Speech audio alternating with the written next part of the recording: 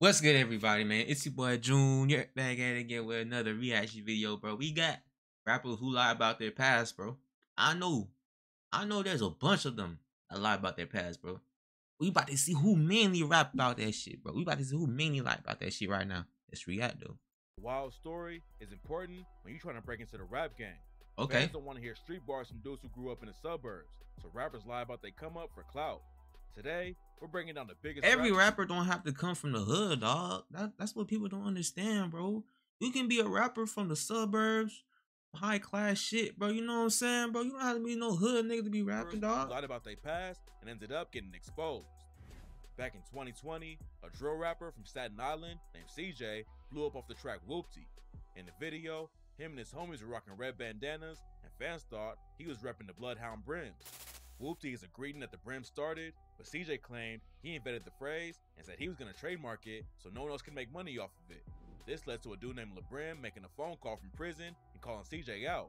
LeBrim was hit with a 30-year sentence back in 2019 for his connection to the Bloodhound Brims, but he didn't appreciate CJ for jacking the phrase. On the call, he said, So I'm gonna take a moment to set the record straight for y'all. I see there's a lot of controversy over this Whoopty thing.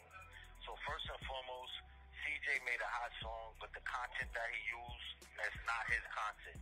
So his foundation is based off a lie. He's not Whoopty. He don't know nothing about Whoopty. He just seen a fly splash and he jacked it, which is a smart move. But in life, you gotta show respect and you can't live a lie.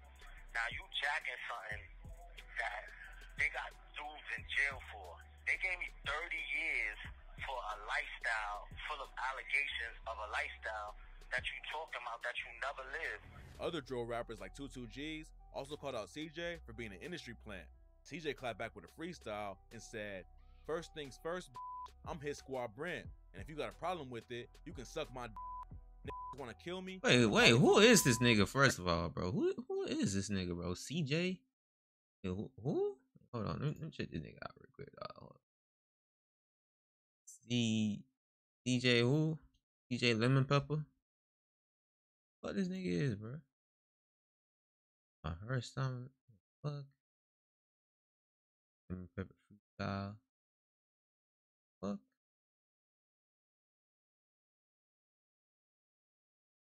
Yeah, I'm not gonna bother, bro. I'm not gonna bother, bro. There's no point, bro. There's no point. Crazy how called my brother done turned snitch. His squad brims are another blood set, but it's not clear if CJ is actually affiliated with them. His uncle also works at the label he signed to, which makes it look like the industry plant rumors are true. If CJ just showed respect to the dudes who came up with Whoopty, there wouldn't be an issue. But instead, he lied about where it came from and got aired out by a bunch of dudes who are really street certified. In 2015, a skinny white kid from Ohio named Slim Jesus dropped a track called Drill Time.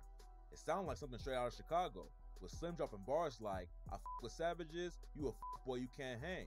You can find me posted up on Frank Block with my f***ing gang. You ain't really bout shit, stay out my spot, don't speak my name. Or I'll pull up on your block at night, wearing all black, and let that 40 bang. The track went viral, and Slim Jesus was getting talked about everywhere online. Some people thought it was all a joke, but others said he was really about that life. But a month after Drill Time came out, Slim talked to DJ Vlad and told him it was all cap. In the interview, he said, For the most part on the street shit, like I got homies that are in that shit and I know people who are and people around me. I mean, I haven't like I'm not out here catching bodies and shit, obviously. Fuck. Slim says he was rapping about guns and killing people because he thought it was cool and would get him attention.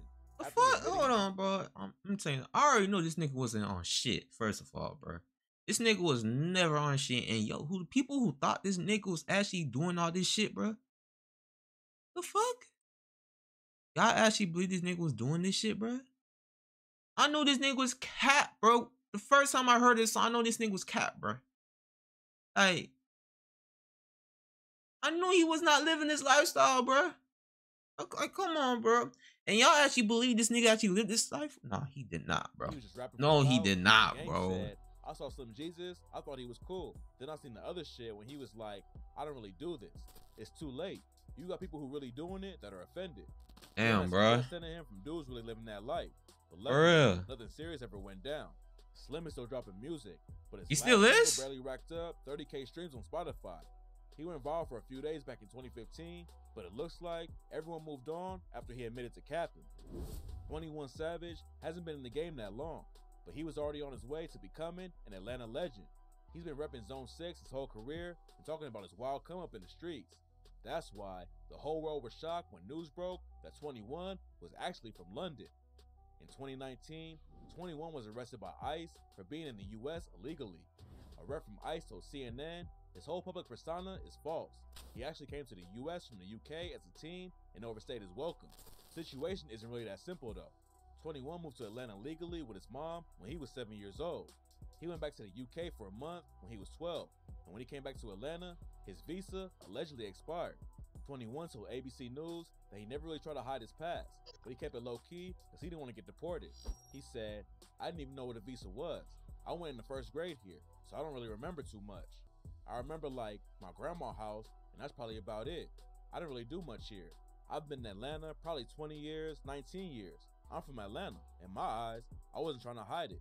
But I didn't want to get deported, so I wasn't gonna just say I wasn't born here, world. 21's case is still pending right now, but hopefully he gets the situation sorted out soon. The fuck? Am I the first one to know? The fuck? I did not know this shit. Community than pretty much any other rapper in the game. Six Nine popped off with the track Gummo. in We, we, we, we all know about this like nigga. Been gangbanging his whole life. We all know about this rap, bro. said, I'm on some robbing shit. Take the do the dash in the whip, count the cash in the whip. Everybody know about his snitching ass. Nobody worry about him. And the video for the track, he had a bunch of dudes from the Nine Trey Gangsta Bloods. One of the Bloods in the video was a dude named Shotti, who ended up becoming 6 9's manager and introduced him to other dudes in the gang.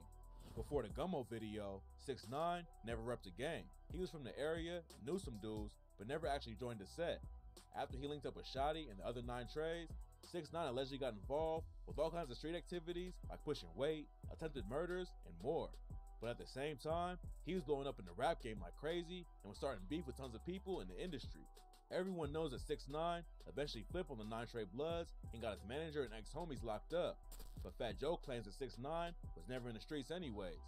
Back in It was never was, Joe went on bruh. Expert Opinion podcast and said 6 9 is a sucker.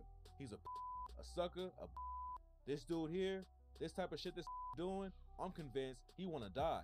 I don't wish it on him or nothing like that, but I'm convinced he's miserable in his body. He can't look in the mirror. Joe claims that back in 2018, he tried to kick some game to 6 9 and told him to be careful how he was moving in the streets. According to him, 6 9 said it was all an act and he wasn't actually out there committing crimes. 6 9 clapped back and said it was all cap. But Fat Joe is a New York legend, and 6 9 is known as the biggest rat in hip hop. So most fans are believing Joe's side of the story. Of course. The fuck?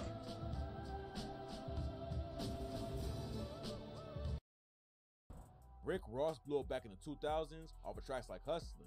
He built up his image as a Scarface type dude who moved weight and ran the city. He even named himself after the legendary drug kingpin Freeway Ricky Ross. But in 2008, a website called The Smoking Gun posted a picture of Rick Ross wearing a prison guard uniform. At first, he denied that the picture was him. He even called out the Smoking Gun in a freestyle and said, I'm the boss and I'm laughing at your blogs. I'm the glue in the streets, meaning I can get you stuck. The world knows where the fuck I'm from. Sell rock, 20 chains, and I never lost one. Heavy on the block, never on the net. Ross told AllHipHop, online hackers put my face when I was a teenager in high school on other people's body. If this shit was real, don't you think they would have more specifics, like dates and everything? But more evidence came out later, and Ross coped to working as a CO. He told Don Diva magazine, Yes, it's me. I never tried to hide my past. I never ratted on a I never prosecuted a I never locked up a That's first and foremost. When I'm making my music and I'm talking about blow, it's because I did it. When I say that I'm rich off cocaine, it's because I did it. A lot of people thought the news would be a huge hit on his career, but Ross made it through the situation without losing too much respect. He's still selling records about pushing weight, so obviously his fans weren't too pressed about the line. Tyga has been in the rap game since he dropped his debut mixtape back in 2007. His whole career, he claimed that he came up in Compton, but in 2012, an unaired pilot for a show on MTV leaked, and Tyga was caught in a lie. Footage from a game show called Buster started going around online, and in the clip, Tyga claimed that he actually grew up in the valley and had a comfortable life. He said, "Grew up not too tough. Parents had a Range Rover, doing it." Why y'all niggas got lie about y'all past, bro? Hey, bro, you can still rap, bro. Like, if you're talented, bro, like, we gonna fuck for you for who we are. For We gonna fuck with you for who you are, bro. Like, bro, stop capping, bro. Not too much hard. Oh. Street. Tyga hop on Twitter to defend himself and said, "When you 14 and ambitious, you don't give a fuck about anything. Scripted TV, isn't that what we all live for? Ha ha ha ha ha." And in an interview on Power 106's Big Boys Neighborhood, he said, "The intro beginning was scripted. I never grew up in the Valley. I lived in Compton slash Gardena my whole life. According to Tyga, he was just young and ready to do whatever it took to break into the industry.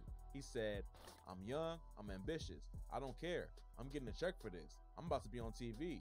At this point in my career, I'm at a point where I work so hard, and for people to try and throw negative stuff, it's just retarded.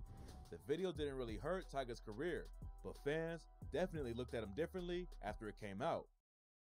Yeah, that shit is weird, bro. I don't know why y'all got cap about like about shit like that, bro. Like, bro, just be who you are, bro. You know what I'm saying? That shit is weird as fuck. But if y'all fuck with that video, bro, make sure y'all leave a like, comment, subscribe to your boy, bro. And I'm out, bro.